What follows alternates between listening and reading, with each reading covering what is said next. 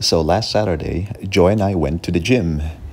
And one cool thing about having Joy in the gym is that I have a videographer documenting my gym workout. So this is me now just showing off to Joy. I have not actually lifted something this heavy on this machine, but uh, you know, just wanted to impress my girl.